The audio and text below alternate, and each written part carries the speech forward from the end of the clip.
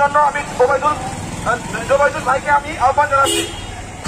মন্ত্রণালয়কে যে চিঠা প্রেরণ করা হয়।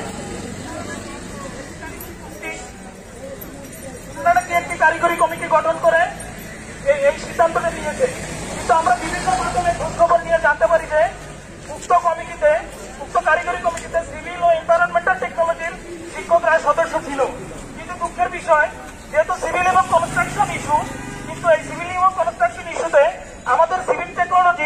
যে সকল পলিটেকনিক আছে সে সকল পলিটেকনিক হতে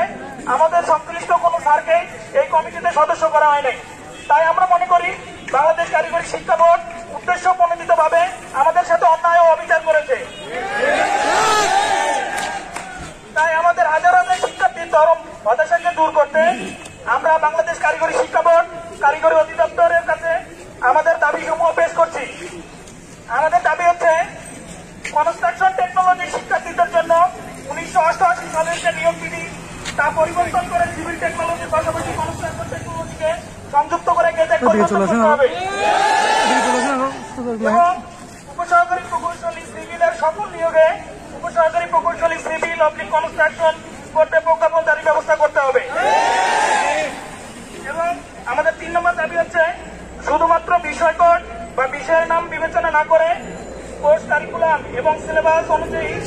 ডিপ্লোমা ইন কনস্ট্রাকশন ও ডিপ্লোমা ইন সিভিল টেকনোলজির তুলনামূলক সাদৃশ্য নিরূপণ করতে কারিগরি কমিটি এবং এই কমিটিতে আমাদের কারিগরি শিক্ষা বোর্ড যদি মনে করে বিভিন্ন মন্ত্রণালয়, অধিদপ্তর এবং বুয়ে বুয়ে বিপিএসসি আইডিবি প্রতিনিধি সহ আমাদের কনস্ট্রাকশন টেকনোলজি সংশ্লিষ্ট পলিটেকনিকের বিভাগীয় প্রধান ইন্সপেক্টর স্যাররা এই কমিটি গঠন করে ডিপ্লোমা ইন কনস্ট্রাকশন টেকনোলজি ছাত্রছাত্রীদের সরকারি ও স্বাস্থ্য প্রতিষ্ঠানে কর্মক্ষেত্রে প্রবেশে আমাদের যে বাধা বা জটিলতা আছে, তা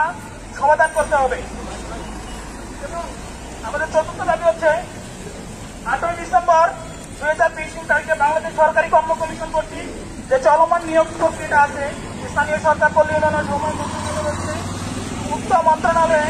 আপনারা সবাই জানেন যে আমরা মৌখিক পরীক্ষায় বাদ করেছি তাই আমাদের এই বাদ করার পিছনে আমরা মনে করি যে বাংলাদেশ কারিগরি শিক্ষা বোর্ড এবং কারিগরি শিক্ষা অধিদপ্তর দায়ী। এবং আমরা যেন কনস্ট্রাকশন টেকনোলজির ছাত্রছাত্রীরা যারা বিপিএসসি এই নিয়োগ প্রক্রিয়া থেকে বাদ করেছি তাদেরকে আগামী এক সপ্তাহের মধ্যে আমাদেরকে মৌখিক পরীক্ষায় সুযোগ টানে তারা প্রয়োজনীয় পদক্ষেপ দিবে এবং ভবিষ্যতে যেন এরকম সম্মুখীন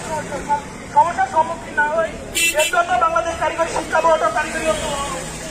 অধিদপ্তরকে প্রয়োজনীয় পদক্ষেপ নিতে হবে।